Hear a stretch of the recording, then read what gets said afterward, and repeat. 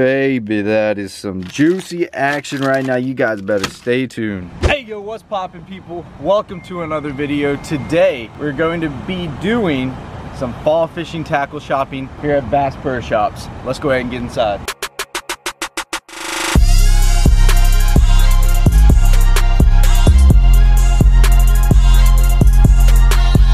So today I'm gonna be getting some fall fishing lures, but mainly all of this tackle is gonna be for the river. Of course I can use this stuff in some of the ponds, but I plan on going on the river a lot pretty much after finals. We're doing finals right now, so we've been really busy.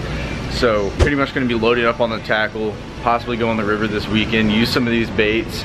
And uh, if you guys wanna see a top five fall fishing baits video, be sure to pepper that like button and let me know in the comment section below. I actually got old Alan Bob with me. He's actually uh, gonna come back to my house because I'll tell you that later in the video, but let's go ahead and shop for some lures. If you guys saw my last video where it was pretty much how to fish crankbaits, we were out on the river, and I kind of talked about, you know, DT6s, how they just munch it out there on the river. I just really didn't have any. We're gonna buy a few today. I'm gonna show you a few of the colors that I'm gonna pick for dirty water. I'm telling you, this is some juice right here. If you guys got some rock that you wanna throw this thing on, you know that there's some fish loaded up on, this DT6 is the way to go. Let me show you which colors I'm gonna get. So this is their whole section right here. My favorite color of all time is actually this one right here. This is actually the one I was talking about in the video. It's called Demon. Um, it's like an orangish red crawl color and it's got some purple on the back. I'm telling you, this one right here is some fire, guys. Fishing dirty water, this is a fire bait. And then I'm gonna be looking at this one right here, which is a chartreuse with the black back but it's in a DT6 rather than like the square bill I was throwing. So I'll probably get a few of these for sure. Gotta give me an old 2.5 square bill by KVD. Chartreuse black bag, that is some straight juice right there. So this is actually what I'm working with for all the crankbaits. I got two of these Demon DT6s right here. It's got the yellowish red body with the purple on top. I got one 2.5 KVD square bill. This is a chartreuse of the black back like I was catching them on in the last video. And then I got this chartreuse black back DT6 right here. This should smuck them as well. I've never tried this color, so I'm kind of curious about it. But uh, they should whack this in that dirty water on the river. But we need some slow moving baits as well. So as you guys know, I'm a big fan of the Ultra Vibe Speed Craws by Zoom.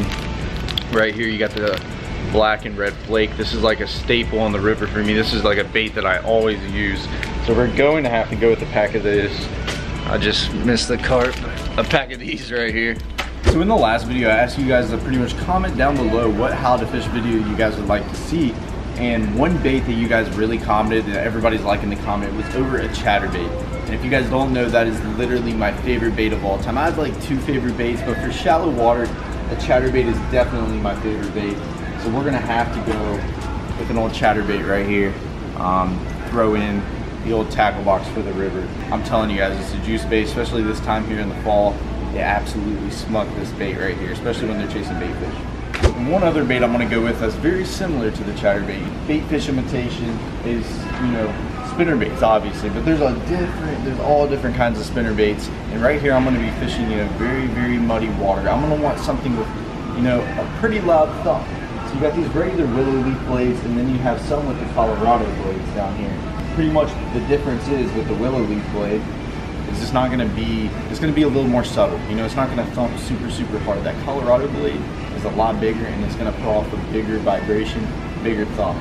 So that's what we're to go with. So this is the one that we're actually going with. This is the laser eye spinner. It's actually by bass pro shops. As you guys can tell chartreuse two gold blades. Those are colorado blades not willow leaf. This is a standard willow leaf blade right there. That's what i was talking about. That's very subtle. This is to put off a you know, heavier vibration and it's perfect for that dirty water.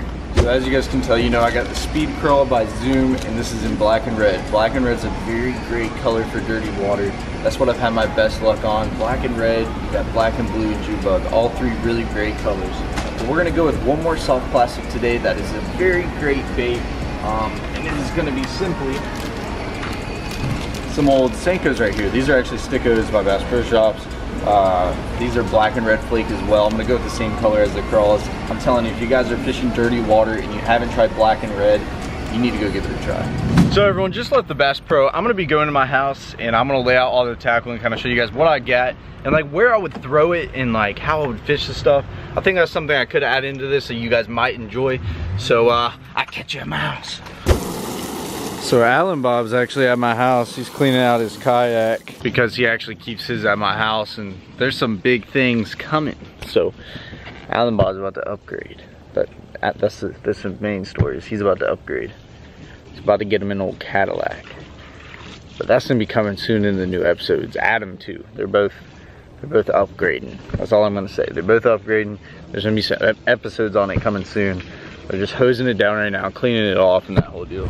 So the first thing I would like to say is all of these lures right here are not gonna be, you know, perfect for everywhere that you're gonna fish. Like I picked these out for the river in specific, but I would like to talk a little bit about fall fishing in general. Those fish are chomping, that bait's pushing up, that whole deal. And you know, some baits that I didn't buy are amazing for fall as well, like a jerk bait or you know, a fluke or even a drop shot. Jigs as well. I actually meant to buy some jigs, but I did not get some jigs. I wanted to get some while I was there. But uh, let me show you exactly what we bought. So, moving on to the hard baits. As I was talking about, we got these little DT6s by Rapala. I got two demons and then a chartreuse and blackback. These crankbaits right here are perfect. They dive around six foot, obviously, noting uh, the DT6. I'm gonna be taking these out on the river this weekend and I'll show you a little bit more in depth on how I work that and how I get more bites on those baits in general.